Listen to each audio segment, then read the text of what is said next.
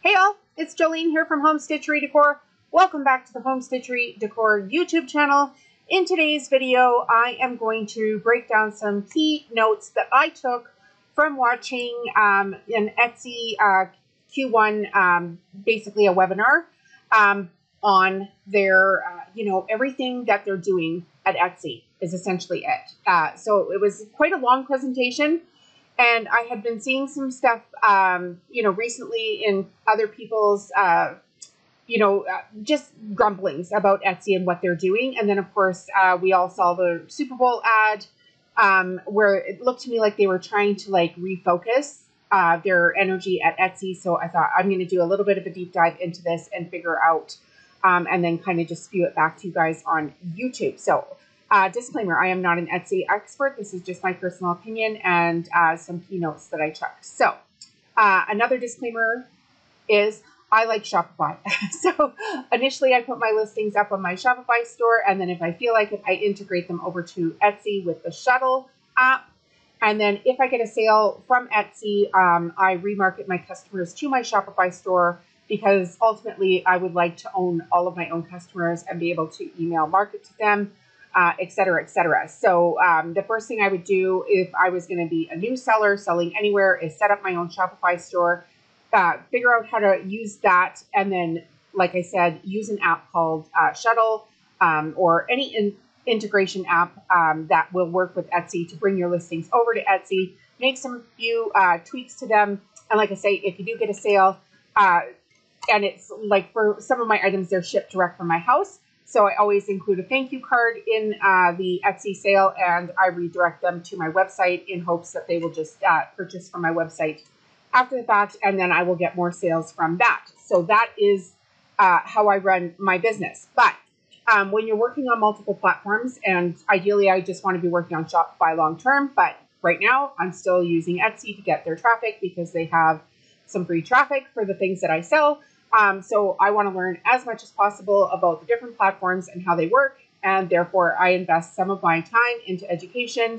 And I wanted to talk to you specifically about Etsy. So, like I said, the, you did see the ad um, for Etsy. So, my take on this is that, uh, and they've just flat out said it here today.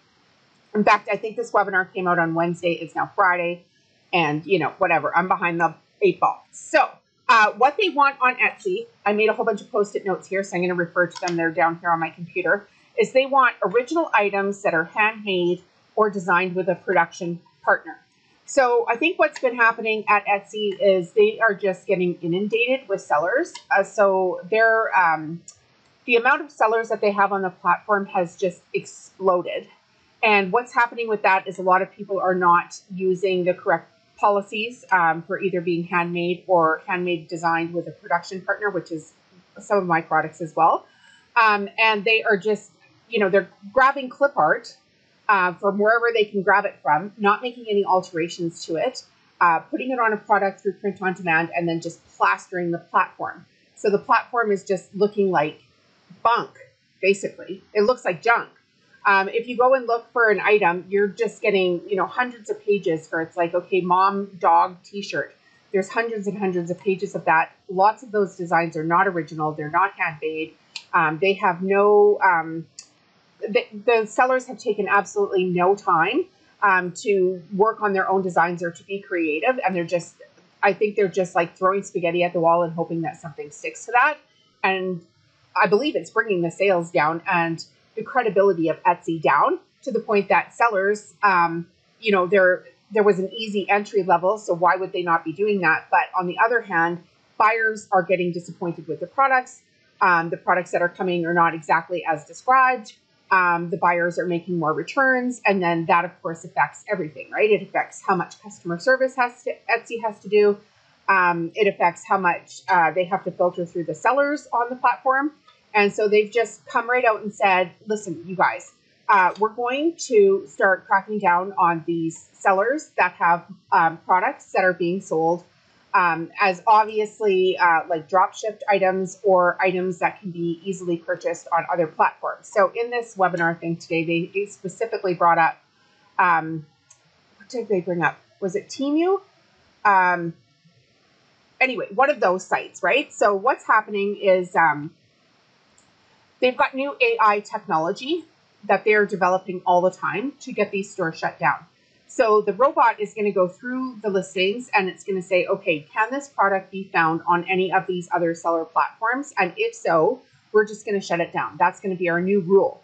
You can appeal it if your store gets shut down and you feel like you've been making your own product and uh, you you know didn't do anything wrong. You can go ahead and appeal that decision.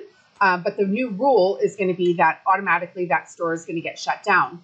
And then another uh, thing that they did to try to improve the platform uh, was in February they installed um, or started or whatever uh, $15 new buyer sign up.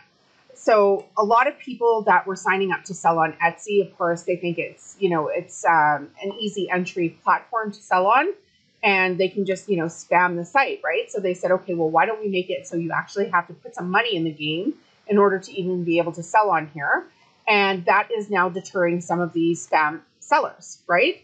Um, so I think that's actually a great idea. So um, yeah, they're just they're trying to get rid of all the fake stuff. They want a better buying experience for the customers. That's ultimately what they want. They want to be known. They want to be uh, they want to be known as a gift store. They want to stand out from the competition. They don't want to be Amazon. They don't want to be Walmart. They don't want to be um, you know a third party selling site like eBay. They want to be known as a gift store.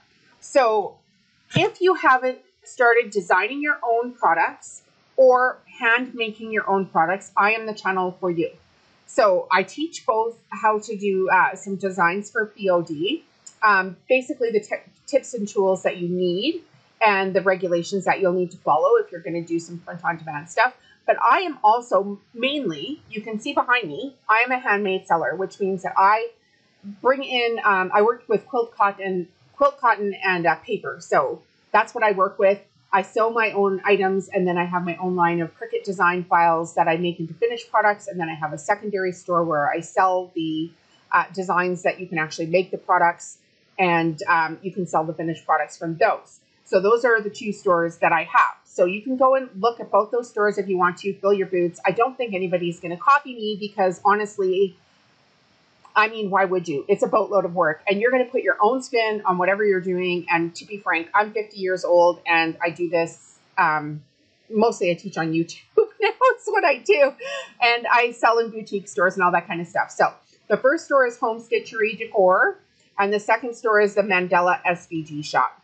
Okay, so they're looking for quality. That's what Etsy's looking for. And here's another post-it note I have here. So um, when they're looking for quality, they're they're looking for quality items with quality listings with quality photos where you have every section of your store filled out properly. You have correct tags and titles.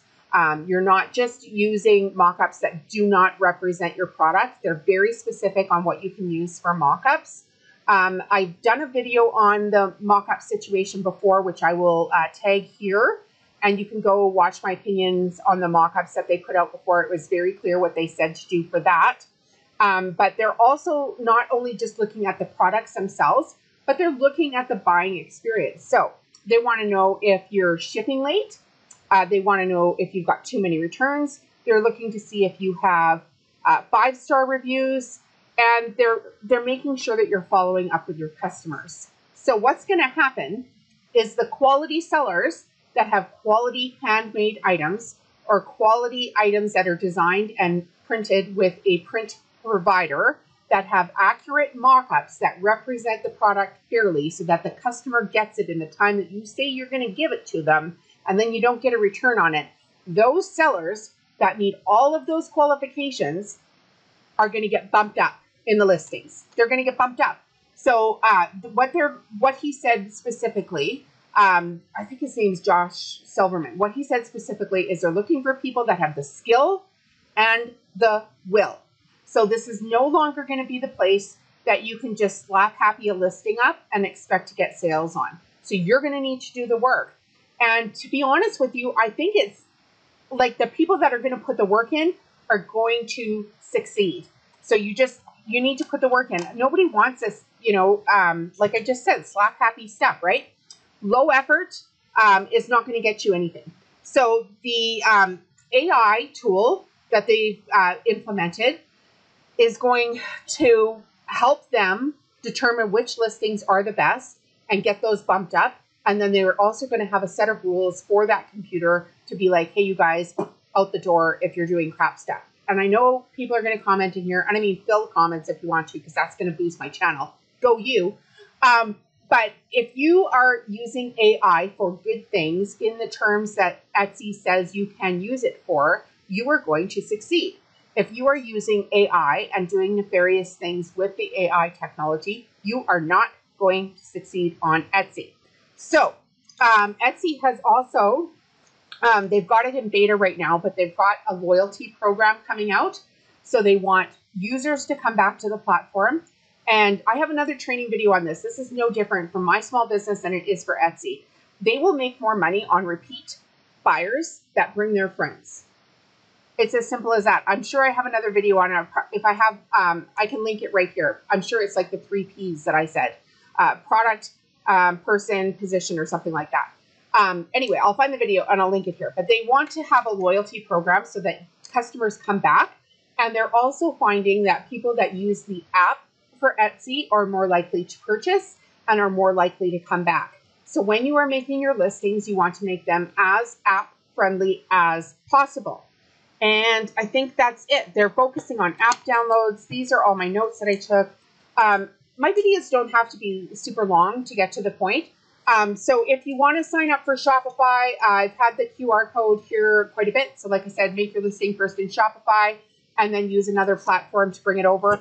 And then I've actually uh, just found out about another new product that I'm going to do a video on today uh, where you can upload um, your print-on-demand products to multiple platforms at the same time. And so I'll do a video specifically on that. But that's it for today's video on the Etsy. Um, I'm, I'm happy for them. So if you like this stuff, please subscribe to the channel. We'll see you in the next video. Bye, guys.